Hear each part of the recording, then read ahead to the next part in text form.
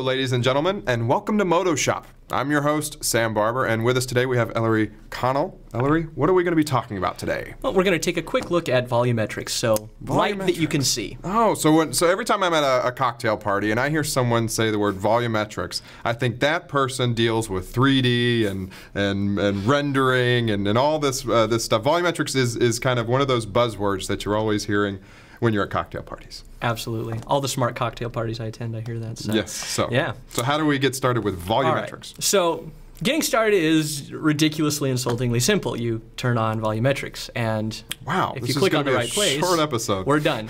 okay, so now you can see our our light here, if I go out to the OpenGL view, we can see the light is up here mm -hmm. to the mm-hmm. up so and left of the ball, and it's shining down light now that we can see. The, the idea with volumetrics being?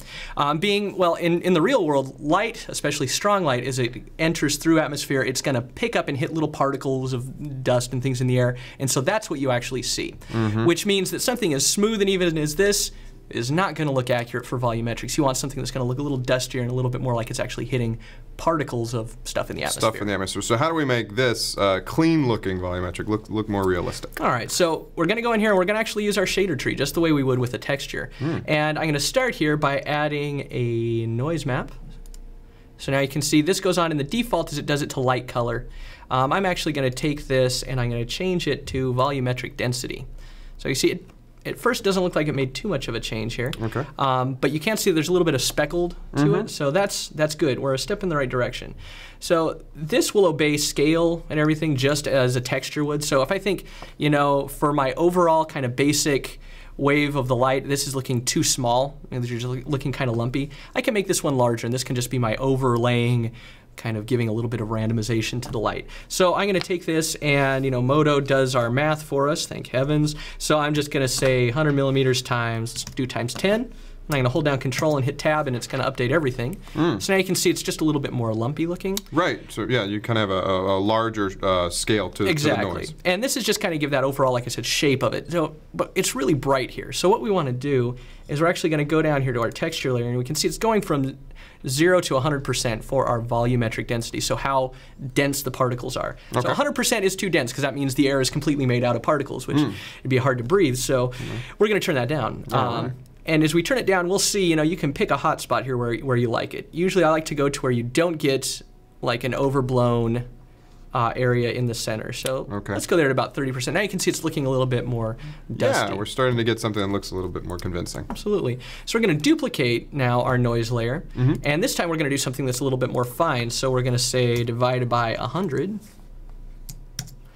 And now you can see this is just giving this really, really faint. Yeah, there's a fine little. That might be a uh, little bit top. small. So let's uh, let's multiply that by five.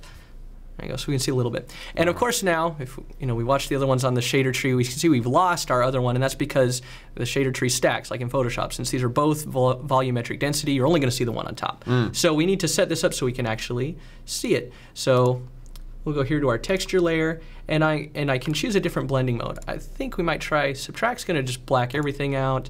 Uh, I think we might try multiply here and then it's just going to really make this a little bit finer. And we can mm -hmm. go in and we can then adjust our main volumetric density. We can pull this up a bit to kind of get a little bit more lightness out of that. Hmm. Okay. And you're just affecting how those two are, the blend mode between those two. Uh, actually, now what I'm affecting, since I have the blend mode set up, is I'm affecting the high value on that original one. Remember, oh. we turned it down to 30% because it was really blown out. Now we're, we're turning it back up since we have this one multiplier, making it darker. Um, these ones. So, so you're compensating. For yes, compensating for that. So you know, which you don't always need to do, but that would be you know the kind of thing that you would do if uh, you know depending on the way you've got your volumetric light set up. Mm -hmm. So. Um, and also with this, I can change and I can take my high value here and make it a little higher because remember I duplicated that top one so it was at 30% too. So I can adjust these here and I can even pull some into the negative which is going to over kind of darken them. So now you can see it's actually pulling, it's giving a little more contrast in it. Right. So again, you can do this kind of, you know, salt to taste.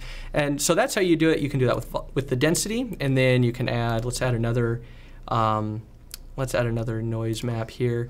And this one we will change, this one's set to light color, which is nice. So we can give the light a little bit more of a natural shift of tone. So let's pick kind of a little bit of a warm, yellow here to it, and then we'll go to maybe just a little bit warmer, a little bit more orangey, and so that's just going to give a little bit of subtle variation Oh, into sure. it. So if we open up a preview render, so we can actually see this at a bigger size, can see now that we're getting, we're starting to get the idea of those dust particles in the air. Mm-hmm. Um, and again, this is all in stacking up your layers and getting getting that look that you want that's particular to the size. You know, this looks like it might be something that's really small. If you want to take your scales down a lot more, the particles are going to look smaller. It's going to look like something that's larger. So it actually affect uh, how we perceive the sphere. this case, Absolutely. the Yep, absolutely. This is going to affect how we how we see that because tiny particles looking big next to the sphere are going to sound small, but you can adjust the scale. And uh, the nice thing is, is these render relatively quickly too, so we don't have to worry about taking a lot of time experimenting because you know we've got this here, um, and it comes out really fast in the preview. Hmm. And then we can also can control just very quickly here. We can control here just on the main light. You know how wide our shaft of light is. So if I take the radius and drag it up, you can see that's going to get larger. And you can see the way that the shadow interacts here. So if we come around, it's where we're on the other side of the ball, we can see the shadows now will come around our Mhm. camera view. Absolutely. So you have an eclipse effect. Yep, kind of an eclipse effect there. That's excellent. Okay. All right. Well, thank you so much, Ellery Connell. You. You're pre- pre- preparing us for our next uh, caustic cocktail party. Yes. and thank you for watching Modoshop.